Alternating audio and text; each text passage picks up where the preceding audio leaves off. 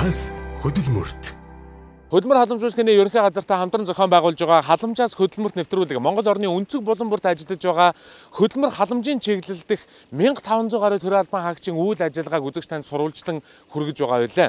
Бид өнөөдөр Өвөр хангаан аймгийн Арвахэр хотын төв хаалганы гадаа хүрэлцэн ирээд байна. 62.8 мянган хавтгай дөрвөлжин км газар нутагтай Өвөр ханга аймаг. Тус аймагт 33.1 мянган өрхийн 118 мянган иргэн бүртгэлтэй байгаа нь сүүлийн 9 жилийн хугацаанд 15.2 мянган хүнээр өссөн үзүүлэлт юм.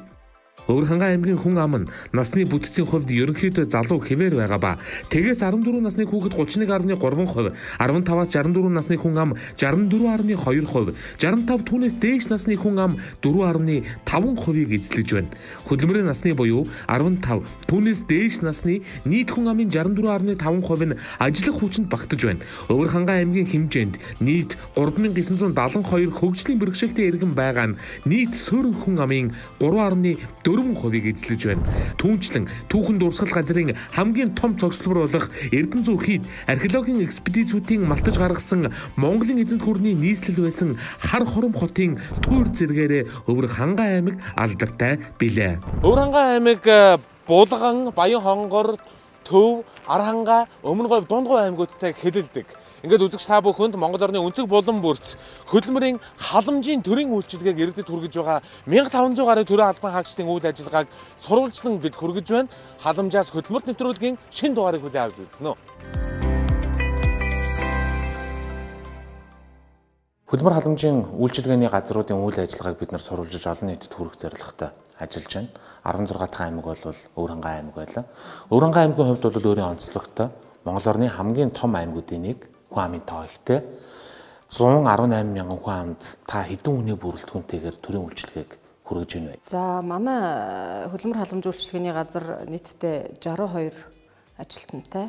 За үйлчилгээнийхээ ажилчдыг э, эс оролцуулах юм бол яг одоо иргэнд үйлчилж байгаа төрийн одоо хууль тогтоомжийн хүрээнд үйлчлэгээ үзүүлж байгаа нийтдээ 54 албан агч. Захиргаа хяналтын хилтэс, халамжийн хилтэс, хөдөлмөрийн хилтэс гэсэн гурван үндсэн хилтэстэйгээр хуулинд заагдсан чиг үүргийг нэр төртөө биелүүлэн ажиллаж буй Өвөр хангаан аймгийн хөдөлмөр халамжийн үйлчлэгээний газрын хамт олон халамжийн болон хөдөлмөр эрхлэлтийг дэмжих төрийн бодлогыг иргэдэд хүргэн үйлчилж байна. Нийгмийн хамгааллын салбарын мэрэгжилтэн байна гэдэг бол харилцаа, ёс зүйн өндөр шалгуур тавигддаг онцлогтой алба билээ. Би бол ажилтнуудаа ер нь э, нэг л шаардлага тавьдаг.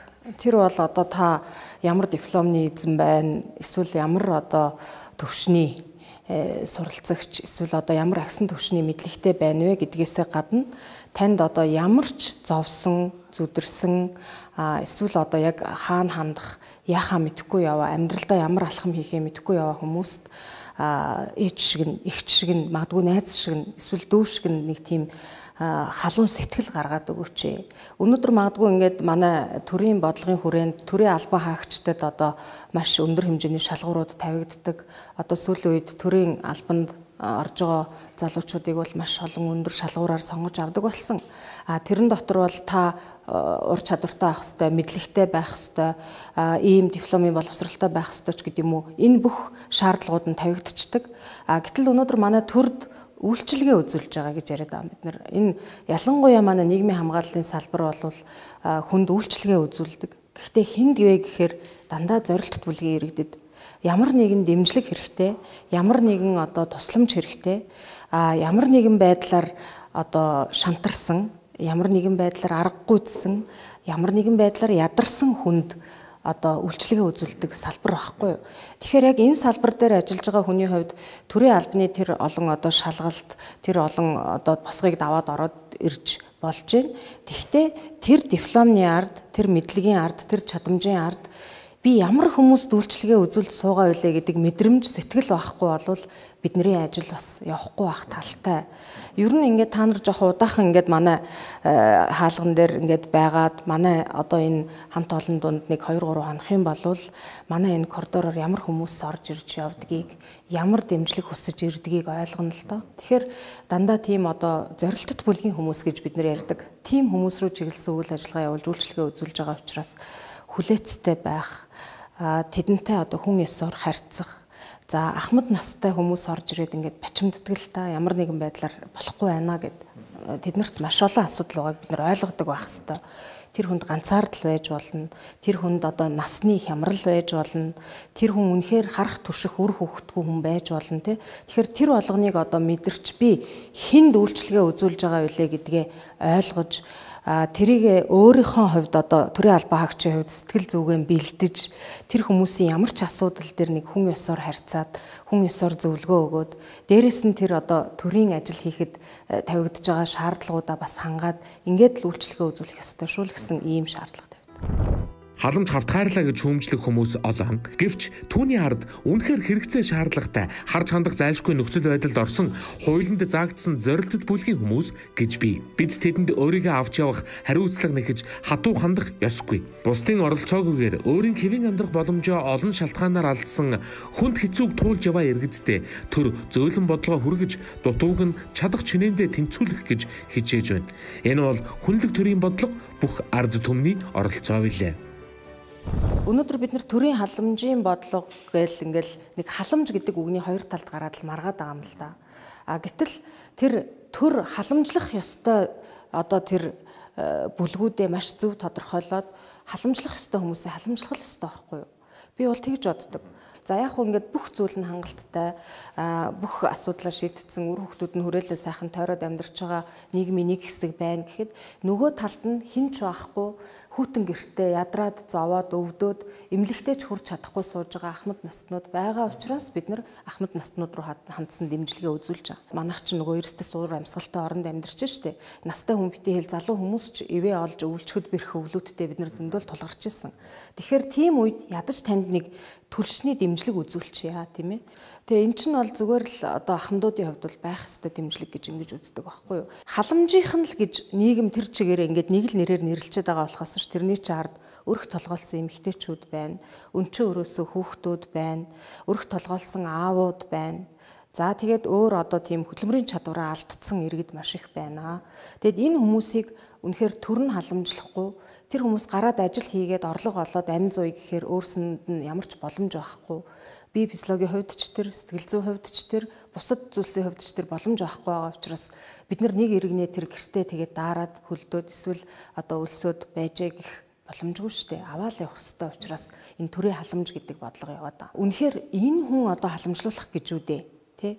Энэ хүн ингээд юу ч хийхгүй төрөөс л хоол аваад хөвтөд авах юм уу гэж гайхмаар хүнтэй би ч гэсэн заримдаа тулгардаг.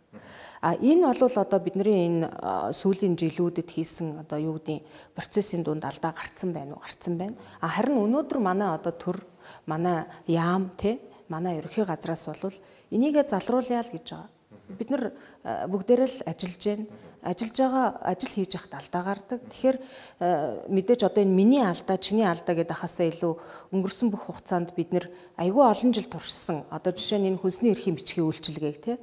Тэгээд энийг ингээд туршаад явж явах хугацаанд янз янзын асуудал, магадгүй алдаа завхарлууд гарсан байхыг үгүйсэхгүй. Тэгвэл энийг одоо залруулъя гэд манай ерөнхий газар бол бодлогоо энэ рүү чиглүүлээд явж байгаа. Тэгэд энийг ч гэсэн орон нутагт бид нэр ингээд хэрэгжүүлж ажиллахыг хичээж байна. Халамж хүртэгч боловч хөдөлмөрлөх боломжтой арга замаа олоогүй чиг баримжаа эзэмшээгүй хүмүүст халамжаас хөдөлмөрт бодлого ерөнхий зургаараа чиглэж байна.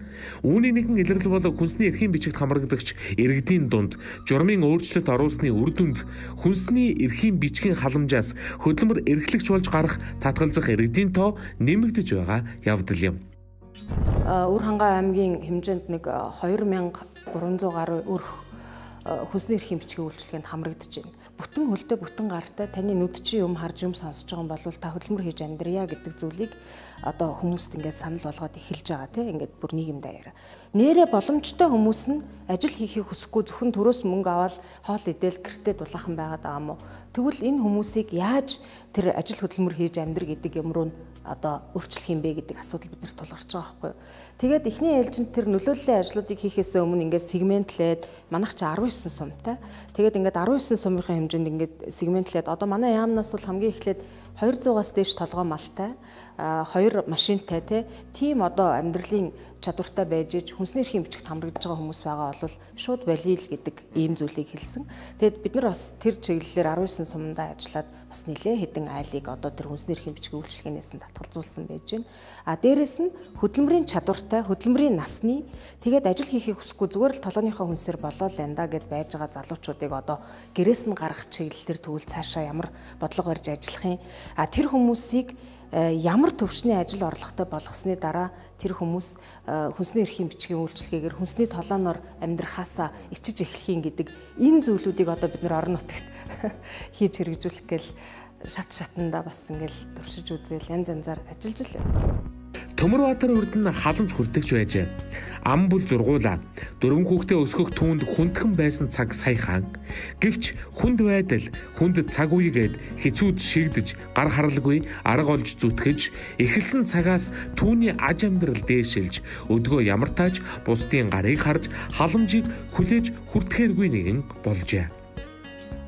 Халамж явдаг гэсэн одоо ингээ хадламжаас бас татгалзаад сүүлийн үед энэ 5 толгороо явж ажил хийж хөдөлмөрлж залуучууд их залхуу болж хөдөлмөр хийхгүй халамж харих хар энэ Өрөнгө аймгийн төвд одоо энэ халамжаар амьдарж байгаа залуучуудыг уриалж авснаг өөрсдөө татгалзаж энэ хөдөлмөрлөх хэрэгтэй гэж ер нь энэ залуучуудыг ер нь хөдөлмөрч болгоё гэсний үүднээс бас энэ ярилцлаганд орж байгаа маа. Энэ улсуудыг ингээ хараад байхад ер нь халамж авж байгаа мөртлөө хөдөлмөрлөхгүй байгаа хөөхгүй. Залуучууд чинь хөдөлмөрлөхөө байцсан юм байна удлаа он нэг багын дарга ажиллана улсууд ажиллаж байгаагийн оронд өөрсдөө хөдөлмөрлөөд явах юм бол энэ халамжаас ингэ татгалцсанаа. Залуучууд өөрсдөө дайчлахаа байцсан байна. Дайчлах хэрэгтэй хүмүүс. Ер нь хүн өөрийгөө дайчилж юм төрнө шүү дээ. Залуучуудаа уриалж халамжаад халамж битээ одоо өөрсдөө биеэ дайчил. Хөдөлмөрл хүн хөдөлмөрлсөн цагт ямар нэг юм төрдөг байхгүй. Хөдөлмөрлөхгүй бол хүн хизээч хിവэрэл байна. Бих байдаг амьдрал хിവэрэ үргэлжилсээр л байна. Халамжилж халамжаа харсаар л байна. Хүний амьдрал гэдэг чинь шалгоонтой шүү дээ. Хүн ерөөсөн жоохон чулуу байсан ч гоё байрыг нолоо тавиад ах юм бол хүн амьдрал өөдөө явдаг байхгүй юу? Ямар ч юм гоё хий. Хүнийг хүнд юмыг үнч хий, сайн хий Тэгснээ загт хүн хөдөлмөрч болно. Оролцоо төсөл олон залуучд ихтгэл урам зориг нуугдсан байсан зориг зүтгэлийн очгаалыг асааж байна. Монгол орны өнцөг болон бүртэл оролцоо төслөөс хойш өөртөө ихтгэлтэй болсон, олонтой нийтдээ харилцсан, ажилласан, өөрчлөгдсөн залуусын жишээ бодитоор дуулцсаар байна. Тэд бүгд хөдөлмөр эрхлэж халамжаас татгалцсан. Тэдний нэгэн жишээ 1996 онд төрсэн даваа сүрэн юм. Оролцоо төсөлд оролцсон тэрээр одоо супермаркетын зохион байгуулагч болжээ. За оролцоо төсөлд би 9 сард суралцсан байгаа. За тэгээ оролцоо төсөлд бас бага хамт олон багаараа яаж ажиллах уу те тэнгүүтээ бас хувь хүний хөгжил талаараас илүү их юм мэдж авсан байгаа. Тэгээ олон сайхан найз нартай болсон. 14 оныхон дадлагыг өөрөнгө 12-ийн Сүмбэрд мандах супермаркетад хийсэн байгаа. Аа тэгээ тэндээ одоо би байнгын ажлын байртай болсон. Тэгээ оролцоо төсөлд ороод ерөнхийд нь бол байнгын ажлын байртай тэгээд одоо хувь хүний хөгжил талаас баг хамт олноос олонтойгоо яаж харьцах уу тэр талтай зөндөө их юм мэдэж авсан байгаа. Миний сэтгэлд хамгийн тод үлдсэн зүйл бол тэгээ би би гэж хэм бэ гэдэг тэр талаас их мэдэж авсан байгаа. За цагийг зөв баримтлах те цаг гэж ямар үр дүнтэй вэ гэдгийг их мэдэж авсан. Би их тийм өөрчлөлт орсон байгаа. Тэгээ хувь хүний талаас ажиндээ их өөрчлөлт орсон байл гэж манайхан надад ярьсан. За Terstron энэ дэлгүүртээ ажиллана. А суп мандах супермаркетад болохоор би одоо зохион байгуулагч хийдэг байгаа. Энэ дэлгүүртээ ерөнхийд нь тэгээ баг хамт олноо удирдах тэ баг хамт олноороо яаж ажиллах уу гэдэг талаас нь их тэрийг төлхөө хөгжүүлж явандаа цалиа орлоготой болж тэ баг хамт олонтой байх надад үнэхээр гой санагдаж байгаа. Тэгээ цаашдаа ч гэсэндээ энийг илүү их хөгжүүлнэ гэж бодож байгаа.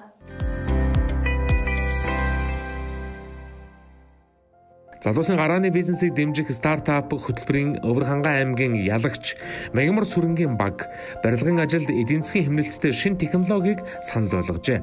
Тэрээр бизнесээ эхлүүлэн санхүүжилт авч чадсан бөгөөд өөртөө төдийгүй өөр 8 хүнд ажлын байрыг бий болгожээ. Манай бүтээгдэхүүний давуу тал бол Оросын албаны албаны улсаас орж ирж байгаа технологи юм байна. Оросын албаны улсын технологи л орон нутагтаа бид нутагшуулж шинээр бий болгож байгаа гэсэн үг. А манай блокны давуу тал мөр гадна басаад За дулаалга, дац сурыг нэг дорн шийдсэн тийм зогт бүтээгдэхүүн гэсэн үг. Өмнө одоо бид нар байшин хаус юм барихад бол заавалчгүй одоо 64 хана маш олон тоос гордог тийм ээ. За гадна талтаа өнгө будаг хийдэг. Олон дараалттай ажил байдаг гэсэн бол манай бүтээгдэхүүн тэрийг маань зөвхөн өрөөл нэг үйлдэл одоо бүгдийн шийдгээр онцлогтой юм байна. За үзэгч та бүхэн харж байгаа блокийг голд нь энэ дулаалга буюу хөөсийг суулгаж өгөөд за өнгөн хэсэгт нь одоо барилгын гадна талд харагдах гоёлын гадна тал буюу фасадыг хийгээд өгчихсэн байгаа. Ингээд нэг дор ингээд бэлнээр нь аваачаад тавихад л байшин босчих боломжтой.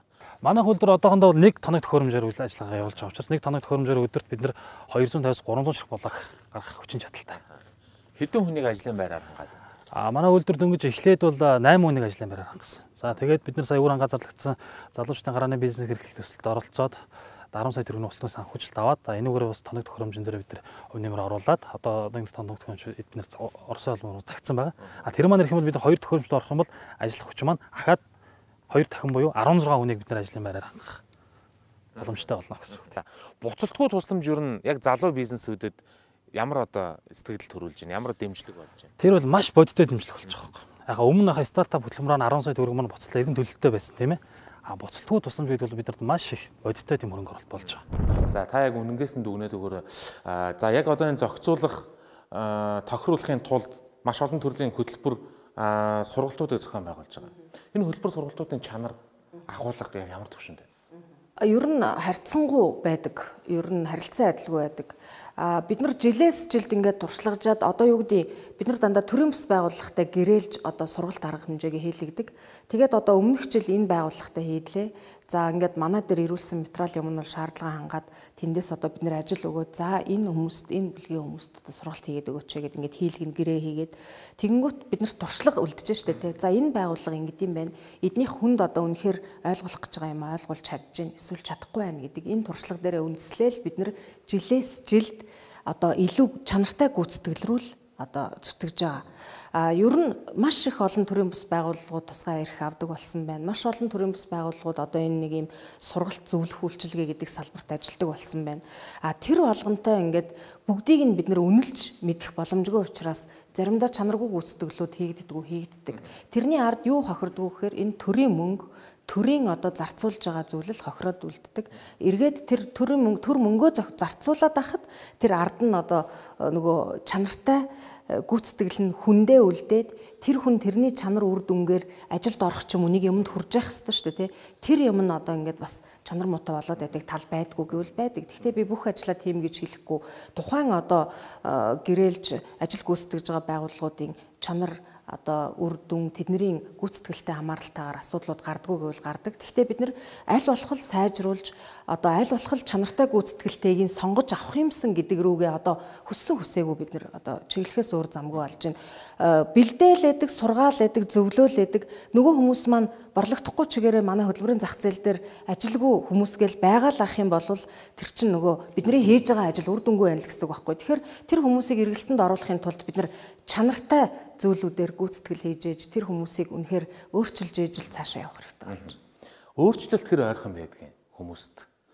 Бид нар нэг алт хийсэн сэгсэр нь ус хийсэн сэгсэр нь гэл энэ ч одоо чихгүй толгойдоо гэдэл ханддаг штеп.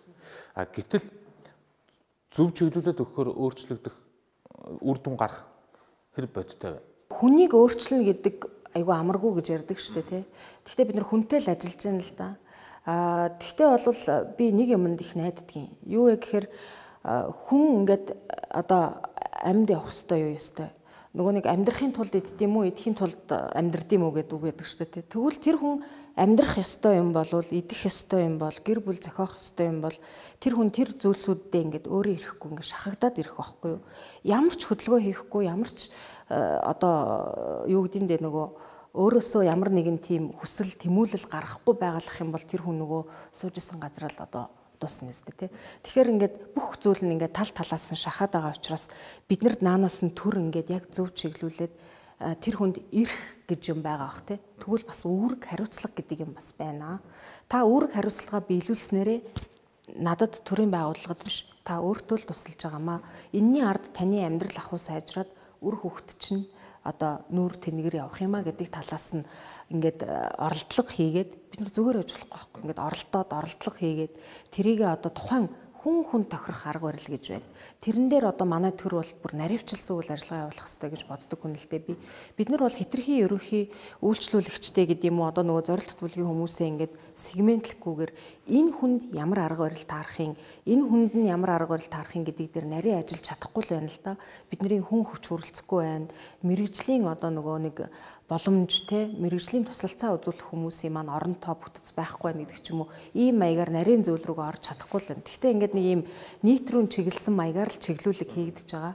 Тэгээд одоо боддоо Өвөр хангай аймаг 118 мянган хүнтэй те хөдөлмөрийн насны одоо бараг 80-ад мянган 79 мянган иргэн байна гэж байна. Тэгэхэд э, хөдөлмөрийн ажлын одоо чиг баримжаа ажил зуучлах чиг баримжаа олгох үйлчилгээн дээр маань дөнгөж ингээд бүрэн одоо оронтойгоор ажиллаж байгаа хоёр хүн байна гэд боддоо. Тэгээд тэр хоёр хүн тэр 70 хэдэн мянган хүнд одоо яаж хурч ажиллах вэ те? Тэгвэл тэр хүн 79 мянган хүн биш 7 мянган хүнтэй л чи энэ жил ажиллая шүү гэх юм бол магадгүй нэг хүнтэй жоох удаа яриад те тэр хүнийг юу чадах уу юу чадахгүй гэд ингээд бүр арай илүү зөвлөгөөх боломжтой. Гэтэл ард нь одоо дахиад 70 мянган хүн хүлээж байгаа учраас ингээл нэг бүртгэл хийх төдийл гараад байгаа нь бидний бас ажлын чанар гүйцэтгэлд нөлөөлөд байгаа тал байгаа гэж магадгүй. За халамжаас хөдөлмөрт нэвтрүүлэг 12 хотоос үргэлжлэн хурсээр байна. За бид 12 хотын 13 дугаар огийн иргэн инх төвшөнтэй уулзаад байна.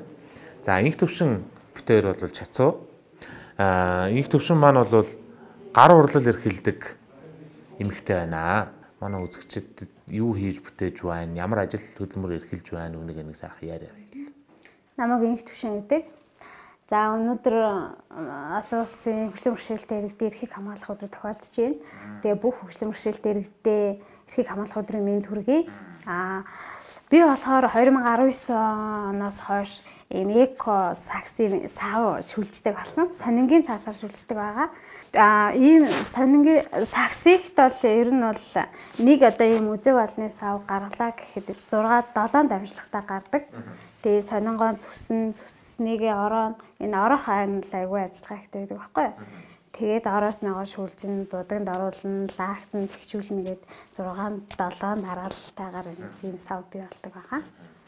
Тийм. За тэгээ өөрөө гараараа бүх Бүгдийг гараараа тийм гайрсан гараараа. Тэр одоо гар урлал гэсэн үг шүү дээ, тийм ээ.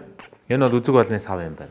Тий. Одоо нөгөө нэг цахилгаан машин дээр ч юм уу те ингээ ойдол хийдэг бол одоо ингээл машинаар ингээд ойчин штэ хурдан гарна. Манайх ч нь болохоор тийм зүгээр гараараа мэддэг болохоор жоо удаан гардаг цаг хугацаа их ордог байгаа. Тийм. Тэгээ эко гэдэг утгаараа бол хүмүүс маш хэрэглэх дуртай байдаг байна гэхлийг. За, хөдөлмөр халамж үйлчлэгээний газартайгаа хэр харилцаатай ойр дотно хамтарч ажиллаж байна? 2019 онд 3 жилийн хугацаанд 100% иргэн төлөгдөх төсөл бичиж өгсөн байдгийг. Тэгээд төсөл маань дэмжигдээд тэгээд бүтээлээ хийсэн байдаг. Тийм. Тэр 3 сая төгрөг чамд хэр бодтой дэмжлэг байсан? Аа, тухайн үед 2 сая төгрөг байсан. 2 сая төгрөг. Тийм, ер нь бол айгүй бодтой. Одоо ингээд бүтээлүүдээ хийхэд нэлээ олон төрөл болгоцсон ингээд явж байгаа. Тийм. За одоо чиний бүтээгдэхүүнүүд хэр хүнд танигдаж хүмүүс худалдаж авч байна? За одоо 10 хэрийн хэмжээнд бол нэлээд хүмүүс таньдаг мэддэг болсон байгаа манай хөтөлийг а 2 2 дахь жилийн өсгөл худалдаанд оролцсон. Тийм. Тэгээд а Өвц брэнд гээд бас Давас бааны бөмбөлөг гэдэг эрүүлэндийн бүтээгдэхүүн хийдэг бүсгүй байдаг. А тэр брэндийн Өвц брэндийнх юм бас манайхаас захиалгаан цагсныхаа захиалгыг авч байгаа тийм ээ. Хийдэг байгаа тий. За нэг ийм сакс жишээ нь хэдийн хугацаанд гарах вэ? Чи өөрөө яг ингээ зүгээр эхнээс нь ахуулаад дуус хүртэл нь хийгээд нэг ширхгийг хийлээ гэж бодоход. А за одоо ингээ бэлдсэн бэлдсэн ингээ бэлдчихэд эхэллээ гэхдээ а өдөр тул ер нь бол ингээ байралтайгаа 5 ширхэг 5 ширхгийг гаргах уу тийм. За маш гоё хийцтэй юм байна. Би бол энийг анхаараа цаас гэж юусаа хараагүй сонингийн цаасаар хийдэг гэж юусаа бодоогүй. Хулсаар л модоор л хийсэн юм байх таа гэж. Тэгэд яг ингээд сонингийнхороо ингээд харуулахаар хүмүүс итгэдэг байхгүй юу? Ямар яаж юм санаа олсон? Ер нь би 19 онд ер нь бол энийг хаарчаад бас айгүй надад таалагдсан байхгүй? Бүр ингээд хиймэр санагдаад. Тэгээд Монголын тэрэгцэртэй иргэдийн холбоо гэдэг байдаг. Аа тэр холбоон дээр очиод эко гифт гэдэг бас хошоо байдаг. Тэгээд тэнцээ сургалтанд суугаад хийжсэн. Одоо тэгээд хэдүүлээч одоо хөгжлийн бэрхшээлтэй хүнд асуудалтай гэдэг ингээд зүгээр суугаад байвал аж төрөл амьдрал ах уу бас хэцүү шттэ. Тийм ээ. Залуу үед угаасаа зүгээр суухад ямар ч боломжгүй гэхгүй. Тийм. Тэгээд би бол ер нь зүгээр суух дургуун ер нь л тэгж хийж бүтээ гэсэн сэтгэлтэй байхгүй. Тийм. Худалдааны сувгууд хаагур борлуулж байна. Урангаад үйлдвэрлэлүүд төгөөд манай 10 хэрт байдаг. Урангаад үйлдвэрлэлүүд төгөөр борлуулж байна. Тэгээд ерөөхдөө захиалгаад л гэж байна да. Чамаг өстой борлуулж болох бүх боломжуудыг маш сайн ашиглаж чаддаг эмэгтэйгээ танаа нутгийн хүмүүс ярьж ирсэн. Бүх үзэсгэлэн хөдөлтанд оролцдог гэж хэлсэн. Үзэсгэлэн хөдөлтөнд оролцоод сайн амжилттай оролцсон. За халамжийн үйлчилгээний газрын хамт олонны одоо харилцаа хандлага чамд зөвлөн тусалж байгаа байдал, чамд боломж олгож байгаа байдал чинь төрийн үйлчилгээнд ер нь хэр сэтгэл хангалуун байдаг вэ? Яг дайжгүй. Ер нь бол тийм дайжгүй айгуу сайхан нээлттэй харилцдаг. Тий. Тэгээ одоогор бол би ажлаа гэрээрээ хийгээд байгаа байхгүй юу? Тэгээ одоо ер нь л ажлын байртай л болчих хэл санаатай байна да. Ер нь л ажлын байраар дэмжиж төгчвөл айгуу сайн байгаа байхгүй юу? Энэ хүсэлтүүдэд илэрхийлсэн үү? Ер нь бол илэрхийлж байгаа. За за. За ингээ бидний нэвтрүүлэгт оролцсон тун их баярлалаа. Тэгээд улам их бүтээл урухаан шингээж олонний сэтгэлд нийцсэн сайхан зүйл хийж өөрийнхөө одоо аж амьдралд амжилт дэвшил гаргаарай гэж хүсье. Аа хийж байгаа зүйл чинь маш гоё байна. Нэрэнгээс бүх хүмүүс таалагдж байгаа байх гэж бодож байна. Өөрөнгөө аймгийн төв 12 хот дээр гар урлал эрхлэгч инх төвшин ийм бүтээлүүд хийж байгаа шүү. Та бүхэн бас сонирхож үзээрэй. Залуучуудын хөдөлмөр эрхлэлтийг дэмжих хөтөлбөр. 1. Зорилго.